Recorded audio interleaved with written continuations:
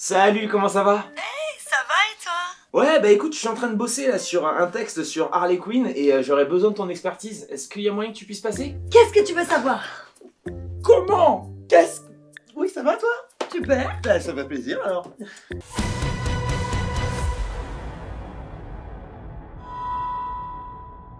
En fait, j'aurais besoin que tu valides mon texte. Donc Harley Quinn, aka Arlene Quinzel, a été créée par Paul Dini et Bruce Timm dans Batman, la série animée en 1992.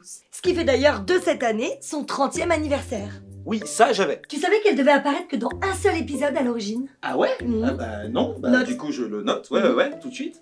Elle est la sidekick du Joker ainsi que sa petite amie. Mais bon, les sentiments ne sont pas réciproques et bien souvent, trop souvent, il la laisse dans des situations un peu délicates. Non mais j'ai juste besoin que tu lises le texte.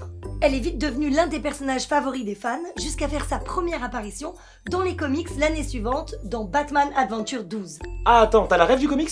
Son origin story est hyper intéressante parce qu'à la base, elle était la psychiatre du Joker à Arkham, donc quelqu'un de très intelligent.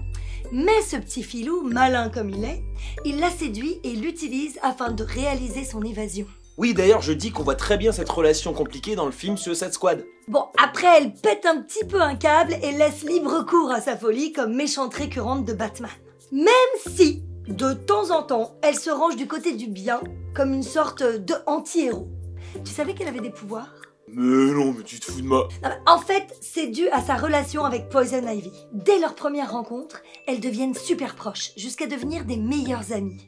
Ivy lui donne un sérum de sa création, ce qui lui donne l'habilité d'être immunisée contre les toxines, ainsi qu'une force et une agilité renforcées. Ouais bah attends, pas trop vite, pas trop vite. Ah, t'es une tortue. Ce que j'ai beaucoup aimé dernièrement, c'est son émancipation du Joker. Bon débarras. Oui, dans la série animée Harley Quinn. Oui, mais pas que. C'est le cas dans le jeu vidéo Injustice 2 ou le film Birds of Prey et la fantabuleuse histoire d'Harley Quinn par exemple. J'aime trop ce jeu. Elle prend son destin en main, tu vois, ainsi que son indépendance. Elle devient limite gentille sur certains aspects, faisant d'elle l'un des personnages les plus aimés de DC. Ouais, mais bon, elle veut un petit peu devenir la boss du crime de Gotham dans la série animée. Oui, enfin, en devenant pote avec Batgirl et en aidant la Justice League à défaire les plans de Darkseid. J'entends ce que tu dis. En plus, elle découvre un nouvel aspect de sa sexualité en tombant amoureuse de Poison, Poison Ivy. Ivy. Ah, trop tard, j'ai dit en premier. D'accord. Note. Ouais. Comme tu dois déjà le savoir, leur relation devient canon dans les comics, ce qui fait d'elle un exemple pour plein de gens à travers le monde. Je voulais te demander, vu que tu la doubles déjà depuis quelques temps, qu'est-ce que tu aimes vraiment chez ce personnage? J'aime son esprit sans barrière, nos limites, rien ne l'arrête.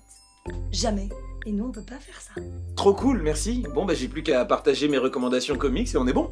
Ah mais moi j'en ai lu des très bons dernièrement, hein, comme Birds of Prey, Benjamin Rivière, Amanda Conner, Jimmy Palmiotti, Chad Hardin, mais aussi Harley Quinn, Old Lady Harley, Frank Thierry, Miranda Inaki, Benjamin Rivière, ou Harley Quinn et Power Girl, Amanda Conner, Jimmy Palmiotti, Stéphane Roux. Oui, j'allais le dire ça. T'as besoin d'autre chose? Euh, non, mais de toute façon, tu sais, j'avais la plupart des infos, hein, euh, ouais. Mm, Bien ouais, sûr. ouais. Ah, ça sonne. Ouais. Vas-y, décroche. Excuse-moi. Mm. Allô? Ah bah ok,